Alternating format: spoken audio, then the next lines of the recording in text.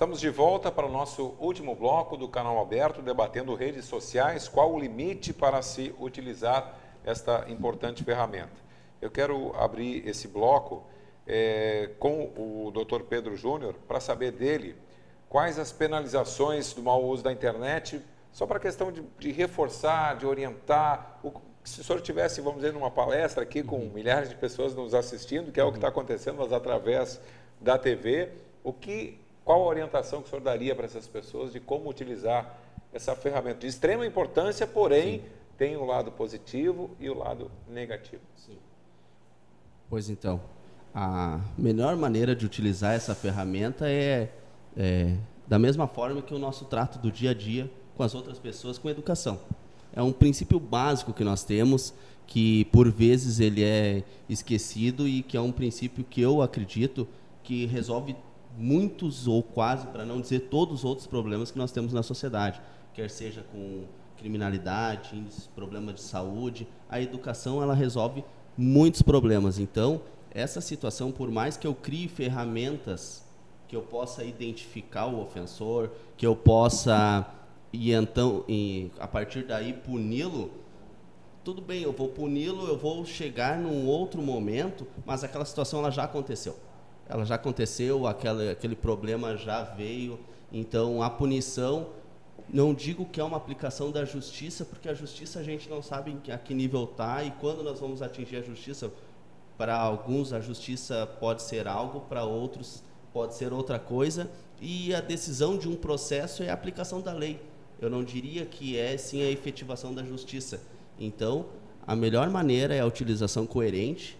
Não vejo em que pese eu tenha uma, uma ideia um pouco é, pessimista, uma, um, talvez vendo as situações do realismo, digamos, que a gente vive, sabe? Eu não acredito que melhore a situação nesse sentido. Talvez com mudança de gerações que venham sim daí a partir de uma criação com o que o colega falou, bom, lá na escola já estão com tablet, lá na escola estão levando para casa, estão sendo educados para utilizar aquilo ali talvez, quem sabe, em umas duas gerações a gente muda algum pouco, não querendo transmitir esse pessimismo dessa forma, mas é questão de educação. Então, cuidar que o meu direito vai até onde o direito do, do outro começa e dessa forma que nós podemos viver com mais urbanidade neste meio social. Evandro, nas suas palestras você chega a passar essas orientações de como utilizar essa importante ferramenta, eu, eu, noto que também algumas empresas têm a, a, a, possibilidade de colocar ferramentas de não poder se acessar através dos computadores da empresa, Facebook, por exemplo. Existem essas restrições, né? Sim, hoje é possível tu controlar. Antigamente era MSN, tu controlava MSN, o Skype já é mais difícil de controlar, tá? O sistema como ele foi projetado já é mais difícil de controlar, mas dá para barrar Facebook. Não dá para tu limitar ah, no Facebook somente fazer tal tipo de post, etc. É, ou, é, tudo, é tudo ou nada. Ou libera o Facebook ou não libera para algumas pessoas. Mas a pessoa que tiver o Facebook liberado vai, vai utilizar ele de forma irrestrita. É, no meio empresarial, com certeza, uma rede social, um Facebook pode ser usado como visibilidade de marketing, para propaganda. O Facebook originalmente iniciou sem anúncios patrocinados, por exemplo, e daí hoje já tem, né? Que nem tem o Google AdWords, tem o Facebook, tem propaganda. Então hoje eles vivem, né? a receita maior deles é de propaganda. É, eu trouxe aqui uma pesquisa que realmente o Brasil, somando todas as redes sociais, o brasileiro é o que mais passa tempo nas redes sociais no mundo. Então, primeiro é o Brasil, depois são os russos e os argentinos em terceiro lugar. Olha. Ah, é, o que mais passa tempo. Somando todas as redes sociais, o que mais passa tempo no mundo nas redes sociais são os brasileiros. Olha. Fizeram daí uma, um, um estudo de comportamento e pesquisas. Os brasileiros, 40% dos brasileiros entre, entre 18 e 29 anos, eles postam conteúdo mais divertido. Então o jovem prefere colocar humor, brincadeiras, conteúdo mais divertido. Em 40%. Não quer dizer que os adultos também não façam, mas os jovens predominam nisso. E quem tem 40 anos ou mais, 59%, eles preferem compartilhar assuntos mais informativos. Daí que entra participação social, dicas, etc. Uh, eu gostaria de comentar uma coisa que eu acho importante, por exemplo, a questão da segurança. A gente vê na, na rede social, às vezes o pessoal coloca assim, estou indo para a praia. Pô, mas quem sabe depois que tu foi para a praia, tu coloca e posta umas fotos, ah, estive na praia, estava bom.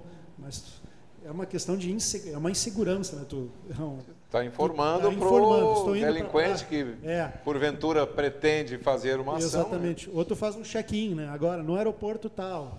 Né? Então o correto seria, né, para compartilhar com os amigos, a família. Então compartilha depois. Ah, estive em tal lugar, achei legal. Quem quiser fazer. Então esse seria o mais Correto. E a rede social é uma tendência assim de, de, a gente ter uma segunda vida, vamos dizer assim. Antigamente já existia um aplicativo, né, que se chamava Second Life. Então tu entrava no mundo uh, virtual, ainda existe, né, só com menos usuários e tal. Tu cria uma vida uh, virtual, tu tem um personagem lá que se chama um avatar, tu é um personagem, tu, tu pode ser quem tu quiser ser. E o Facebook, não, as redes sociais às vezes te permitem um pouco isso, né? Tu pode ah, é, exatamente. Né, teve artistas distância... que nunca teve o Face, Sim. mas pelo fato do fake que foi criado Sim. dele Sim. ter uma proporção tão grande, ele se obrigou a fazer Face pelo retorno que aquilo estava dando para ele. Sim, exatamente. E a questão do IP, daí só para deixar claro, dá, existe um IP de origem, né, de quem postou alguma coisa, tá? Mas hoje tem muitas formas de burlar isso, tá? Então tem redes VPN, que se chama, existem redes falsas, tu acessa outras redes de outros países para postar alguma coisa. Então, quem quiser praticar o mal, por exemplo, é uma ferramenta que pode ser usada para praticar o mal também. Né? Então, isso é um problema. Certo? Muito bem. Guilherme Zimmermann, a terceira idade está aderindo ao programa que temos na, na, na, cidade. Como é que está essa questão? Eu, eu, eu tenho participado das é, formaturas, vamos dizer assim, das turmas da terceira idade. Como é que está sendo para essas pessoas que muitas nunca nem tinham sentado à frente, né? De... Então, a prefeitura de Novo Hamburgo ela tem, através da diretoria de inclusão digital, dois cursos, um de uma oficina de informática básica e uma de intermediário, que são para pessoas que nunca mexeram no computador, que estão tendo as primeiras experiências. E nosso público de inscrição é prioritariamente a terceira idade. A gente tem agora, nos últimos anos, a gente está com em torno, a gente já capacitou quase mil pessoas para usar as redes, usar as ferramentas de forma pelo menos básica e a, a, inclusão da terceira idade na rede social, ela tem um fundo psicológico muito grande também, que é a ressocialização de uma pessoa que por vezes está um pouco abandonada em casa, uh, deixou o emprego, não sabe muito o que fazer, não planejou a aposentadoria, então tem essa expectativa também, mas tem também a, a possibilidade deles, e é sempre a gente faz esse convite, uh, deles interagirem com o mundo e compartilharem aquilo que eles sabem seja as receitas, uh, mas seja as anedotas, seja os causos. A gente teve alunas, alunos e alunas nossas, uma aluna que, foi que é poetisa e publicou seus poemas na internet, um aluno que é músico autodidata e gravou, aprendeu a gravar o seu CD e publicou o seu CD na internet também. Então, são as redes sociais, elas, elas permitem uma interação ilimitada, salvo algumas limitações empresariais, mas tu tem acesso a tudo que tu desejar de informação ali. E aprender a interagir com esse mundo é, é muito interessante. Da, da criança, do adulto à terceira idade, é, é tu fazer parte do mundo que hoje está conectado, que hoje está interagindo através dali. E quantos desses vêm nos comunicar, e eu adoro receber uma mensagem de uma ex-aluna nossa, um ex-aluno, dizendo, encontrei familiares meus que há muito tempo não falava. Encontrei sobrinhos meus que estão morando fora do país, estou me comunicando com a minha neta que está, sei lá, fazendo um intercâmbio. Uh, então essa, essa, é o lado essa, positivo. Esse é o lado positivo da utilização mas dessa eu, ferramenta. É, mas eu aproveito também para deixar um lembrete para os telespectadores aqui, invadindo um pouco a área da educação da professora, que é para os pais cuidarem na hora de postar foto das crianças, cuidarem o que postam, onde postam, cuidar os check-ins, uh, principalmente, mas cuidar a postar fotos das crianças com o uniforme da escola, que é uma coisa que a gente não percebe e que está expondo a criança dando até a localização, o turno que ela estuda, onde ela estuda e que ela estará ali sem o pai presente. Então, é, é, dentro dos halls de coisas que ocorrem na internet, essa é uma exposição que pode ser considerada demasiada e que às vezes o, o pai e a mãe fazem e não, não percebe.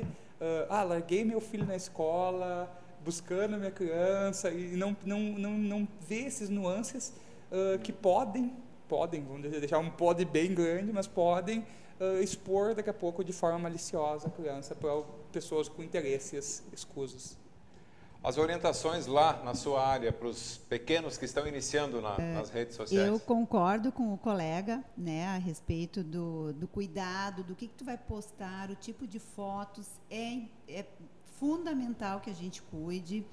Uh, tu, tu, pode ter um amigo que tu fique um mês sem falar com ele. Tem alguns amigos que tu sabe exatamente o que, que ele fez no fim de semana, para onde ele foi, o que, que ele comeu, uh, que festa ele participou. Tu sabe da vida da pessoa, né?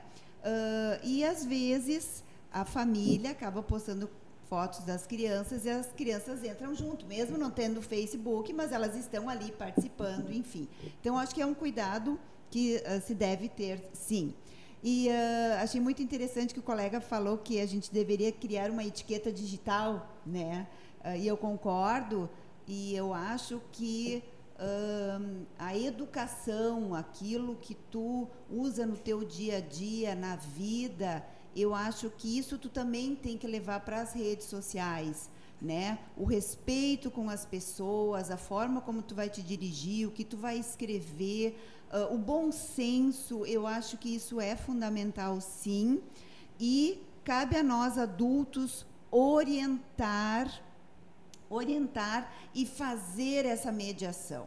Né? As crianças muitas vezes não sabem o que elas estão fazendo, não têm noção né, do que a, da proporção que da pode proporção daquilo ação. que elas estão se expondo. Então eu acho que esse é o nosso papel fundamental, assim, orientar e não não adianta nós negarmos a tecnologia. A gente tem que ver, a, trazer isso ao nosso favor, a nosso favor né? Ver o que tu pode tirar de proveito, enfim, e orientar essa criançada que está aí e que uh, eu acho que tem muita coisa boa aí para a gente usar dessas redes sociais. Muito bem. Felizmente essa uma hora passa correndo, né? Demais. Quando o assunto é bom, né? A gente não nota que passa tão rápido assim. Eu quero agradecer então ao doutor Pedro Júnior, advogado, professor ao Guilherme Zimmermann, nosso diretor de inclusão digital, também cientista político, à professora e psicopedagoga Flávia Gehlen e ao palestrante e consultor de empresas Evandro Kaufes Schmitz. Foi de extrema importância a participação de vocês aí e você que nos assistiu, assiste as reprises do nosso programa, a reprise oficial sempre no domingo, nove da noite, além de em outras situações aqui da nossa grade de programação. E anote, se for possível, essas importantes orientações que esses profissionais da área nos passaram. Voltaremos na segunda-feira ao vivo aqui nos estúdios com mais um tema de extrema importância para a nossa sociedade, para a nossa comunidade. Agradecemos a sua audiência e desejamos uma excelente noite repleta de saúde e paz.